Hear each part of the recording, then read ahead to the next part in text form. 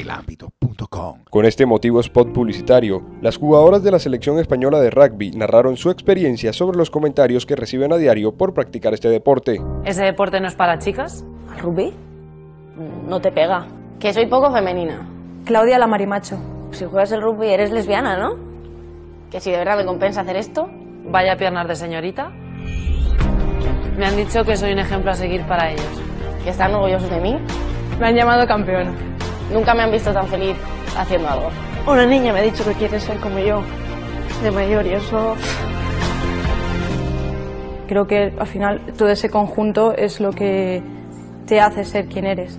Seas como seas, tienes un sitio. Solo hay que ser valiente.